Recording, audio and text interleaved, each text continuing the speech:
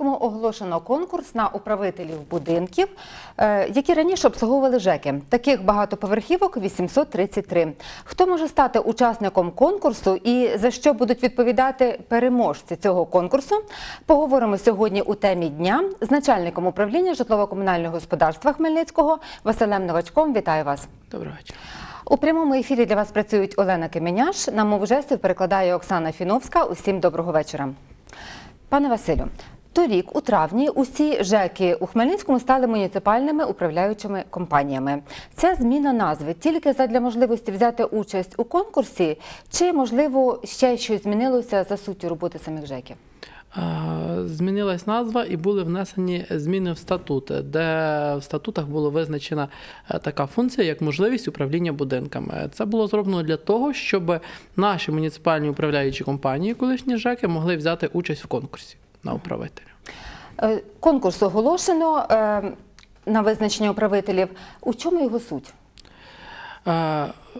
Суть в тому, що е, таким е, конкурсом е, законодавець намагається створити ринок управителя або ринок в обслуговуванні житла. Так його наразі немає.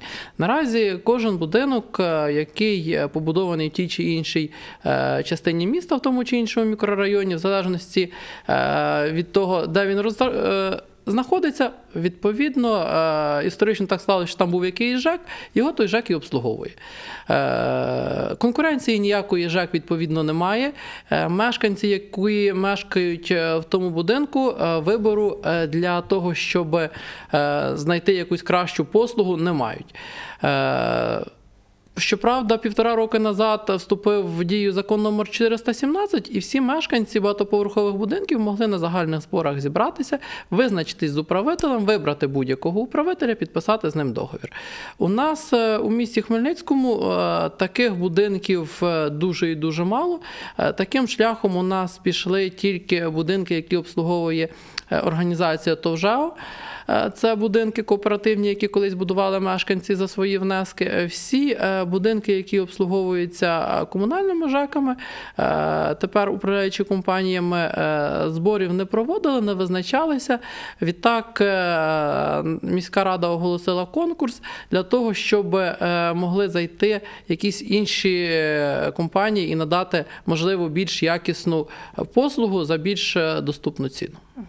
Тобто, з ваших слів виходить, що тепер долю багатоповерхівок, які не створили ОСББ і не увійшли, е, е, не знайшли собі управителя, не визначилися з ним.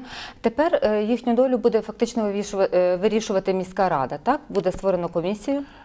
Буде вирішувати конкурс. Та? Так. Міська рада вже створила комісію, вже оголосила конкурс, визначила критерії відбору А до управляючої комісії хто компанії. увійшов? Е, До комісії е, війшли е, заступник міського голови профільний, начальник управління ЖКГ, працівники управління ЖКГ, депутати міської ради і представники громадськості. Зокрема, це керівник ради голів ОСББ е, Богдан Малінський. Він один. А в більшості все ж таки Це, це все чиновники. Е, і ну, депутати міської ради. Ну, виходить, що місцева влада може суттєво впливати на результат конкурсу. А от як все ж таки громадськість зможе цей процес контролювати? Ну насправді випис е, не можна сказати, що е, міська рада визначатиме зараз е, на свій розсуд. Міська рада визначатиме відповідно до конкурсної документації. Прописані чіткі критерії, е, чіткі критерії е, до учасника, прописані чіткі критерії з розставляння оцінок балів. Та? І е, наразі. Е, Функція е, комісії заключається лише в тому, щоб просто порахувати ці критерії. Все. Будь-який громадський активіст, е, будь-який представник того чи іншого будинку е, може прийти, подивитися, послухати, коли будуть відкриватися конверти з пропозицією, зняти на фотоапарат, на відеокамеру, чи ніхто нічого там е, не втру- не втрутився до тих е, конкурсних пропозицій, які в запечатаних конвертах, і відповідно потім зробити висновок, чи правильно порахували бали, чи неправильно порахували бали чиновники. А якими вони будуть оці критерії до претендентів? А, Є кілька таких критеріїв, яких е, ми прописали для того, щоб на ринок не попали якісь е, випадкові компанії, якісь випадкові люди. Е, Насамперед, це те, що будь-яка управляюча компанія, яка йде на лот, вона має мати досвід не менше двох років в обслуговуванні. Тобто компанії, створені учора, позавчора, вже відпадають. Далі компанія може претендувати на певну кількість квадратних метрів тільки в тому випадку, якщо вже е, має досвід обслуговування е, 50% від цього об'єму. Тобто, якщо хтось обслуговував півмільйона квадратних метрів житла, то е, він може претендувати на мільйон. Або навпаки, якщо хтось претендував, обслуговував 100 тисяч, може претендувати на 200. Якщо ви обслуговували два будиночка, то ви не можете обслуговувати 200 будинків, тому що відповідно ви не мали тих об'ємів.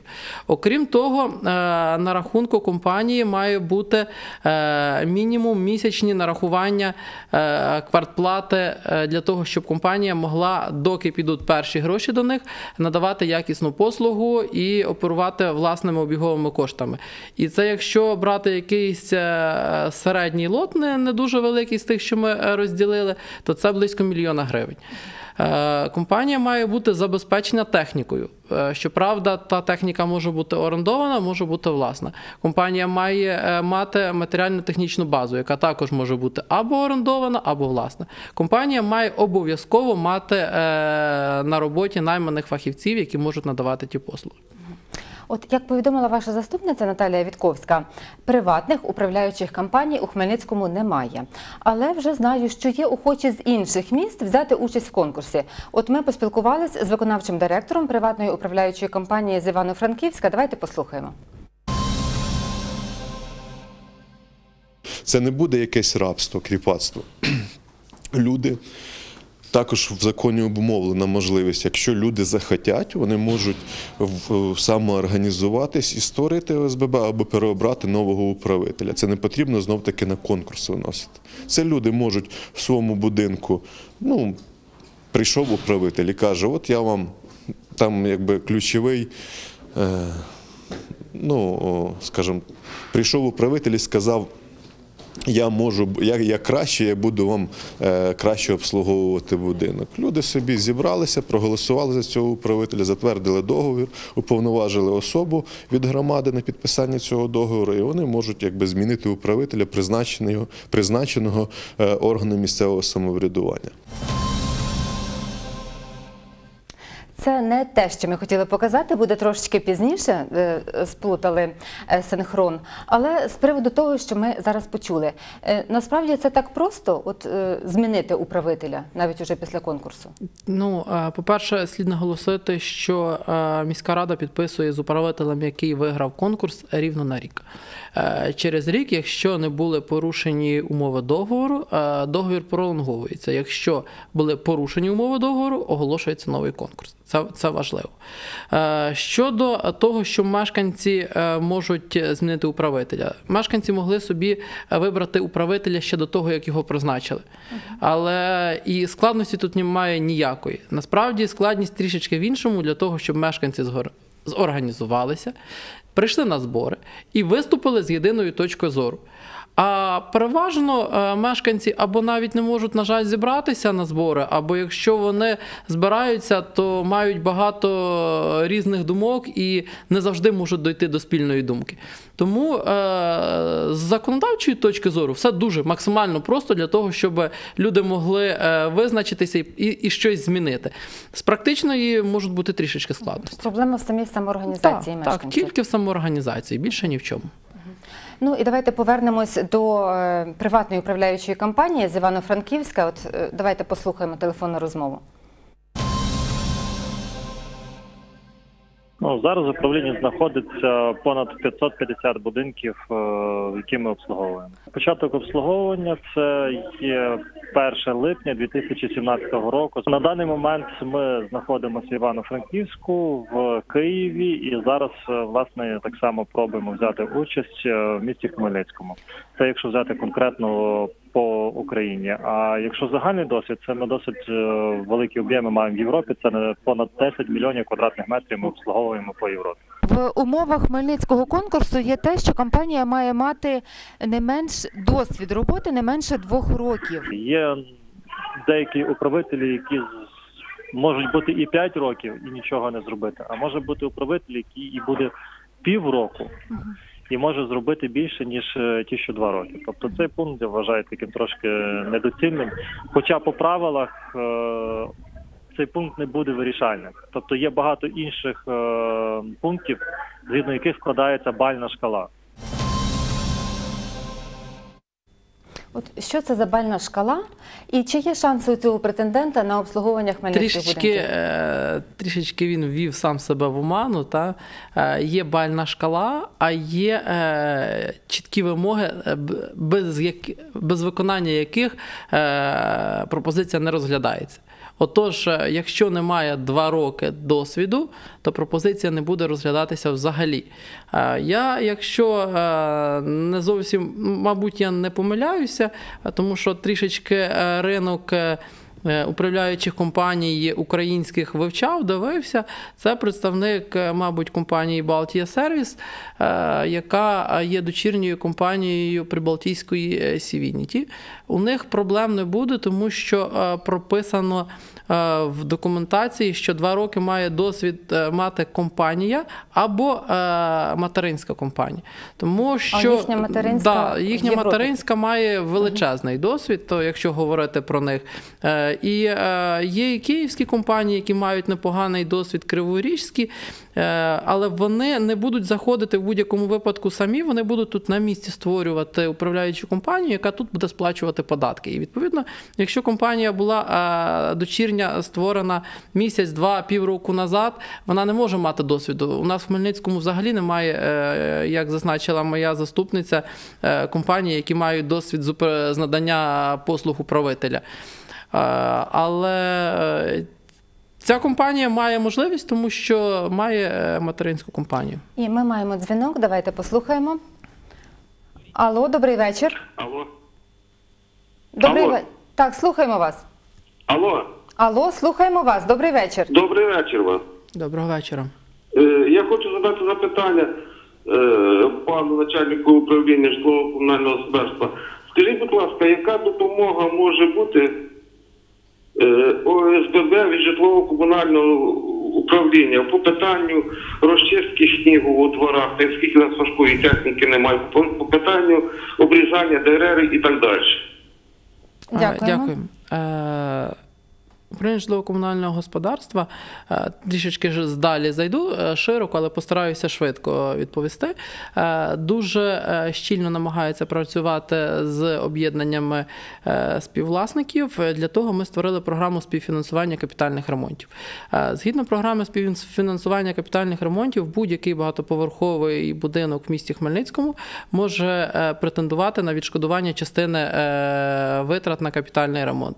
Це і все в залежності від віку. Так? Чим старіший будинок, тим більше міська рада допомагає. Якщо будинку понад 50, міська рада відшкод... років міська, міська рада відшкодовує 80%. 25-50 років міська рада 60 років, е, 60% відшкодовує.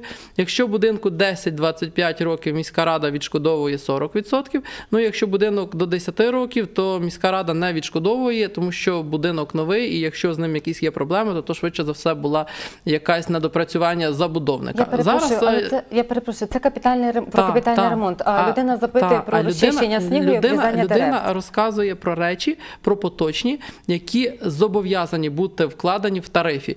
Е, ці речі вкладені в тарифі ЖЕКів як поточний ремонт обслуговування, і вони мають е, зобов'язані бути внесені як внески ОСББ.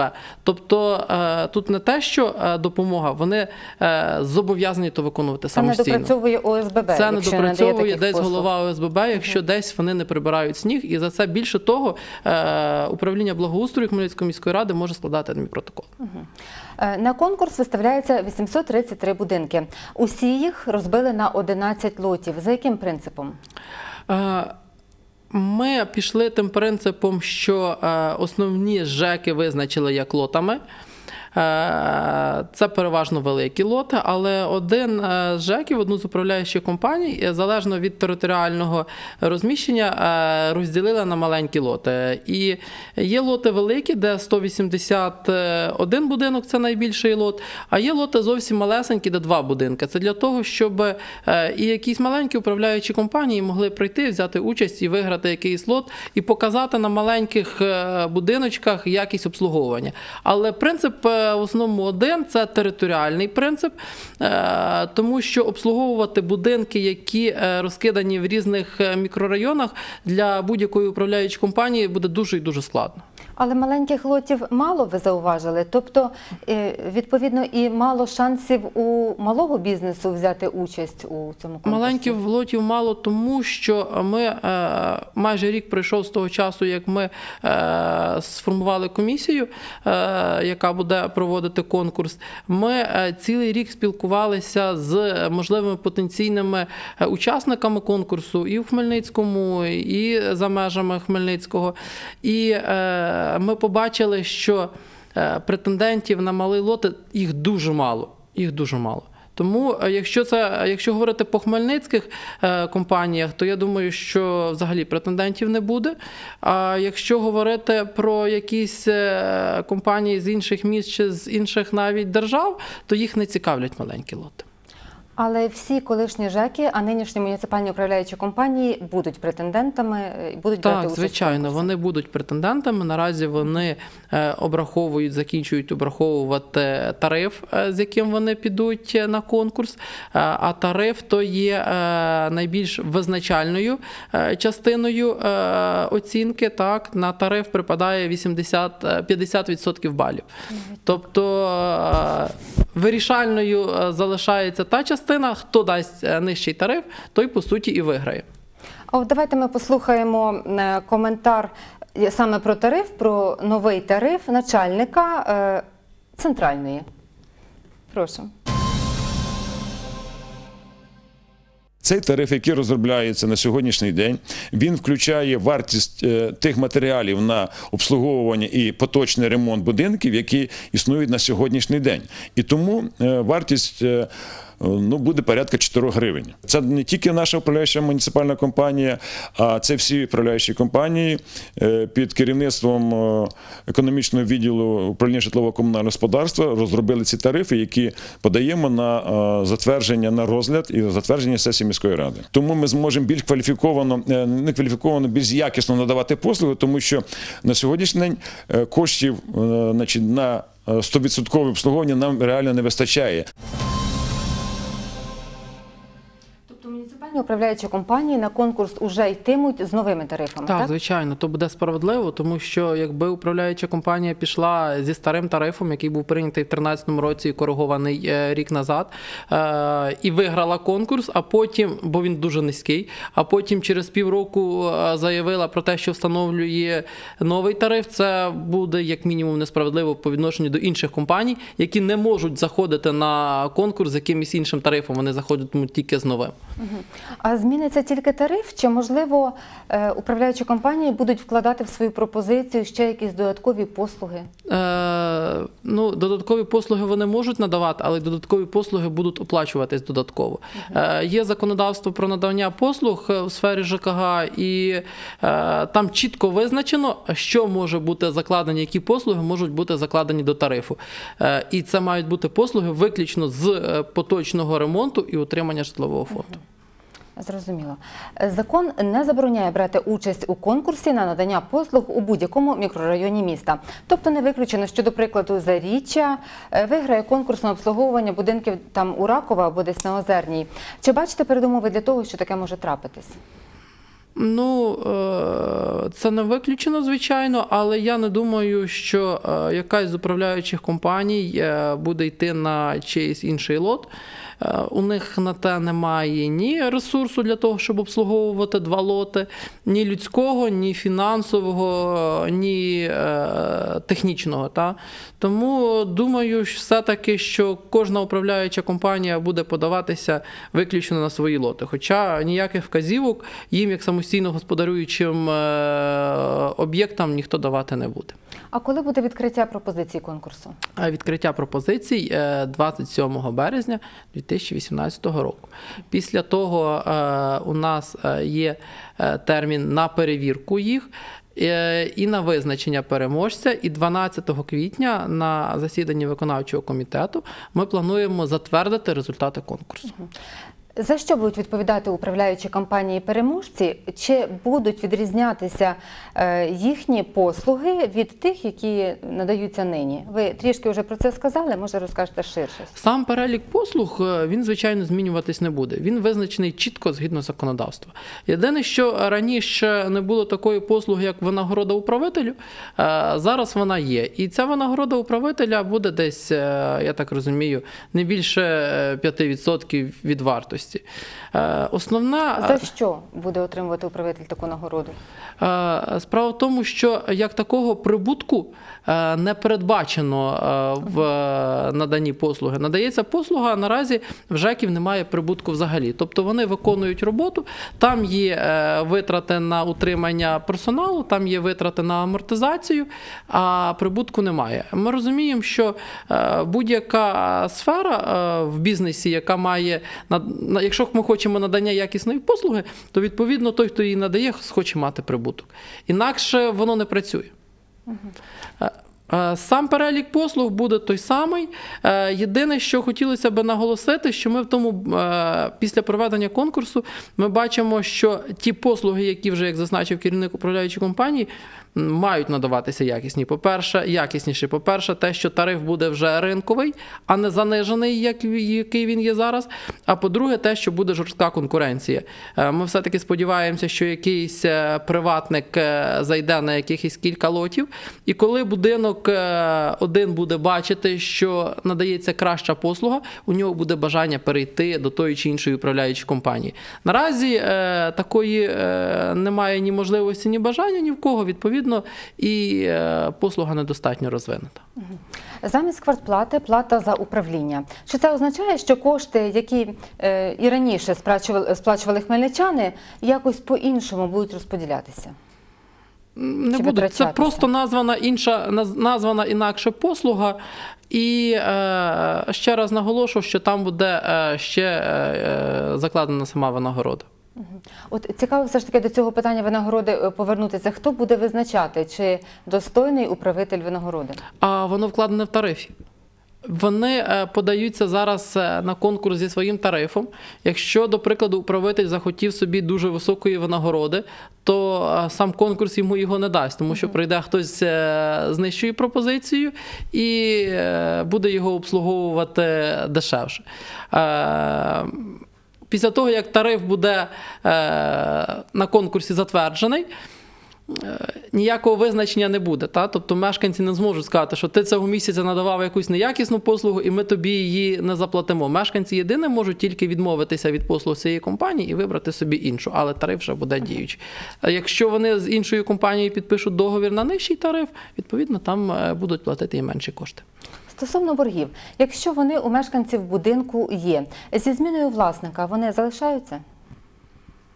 Зі зміною управителя, Управителя. скажімо так, да? тому що власники е, не змінюються. Власником є е, мешканець будинку, е, він є Все власником я квартири. та? так, Але я просто щоб ще раз наголосити, щоб мешканці пам'ятали, що вони є не тільки власником квартири, вони є власником будинку в цілому. Ну, якщо компанія якась програє, то я не думаю, що вона комусь пробачить ті чи інші борги. Є право стягнення боргів в судовому порядку. Послуга буде надаватися до заключення нової угоди. І, звичайно, що всі борги, якщо хтось е, десь щось не доплатив, будуть стягнуті. Після конкурсу всі будинки у Хмельницькому будуть з управителями, так? Чи можливо є якісь винятки? Будинки ОСББ будуть без управителів. А так, в принципі, зрозуміло. всі будинки, які не мають ОСБ, будуть мати управителя.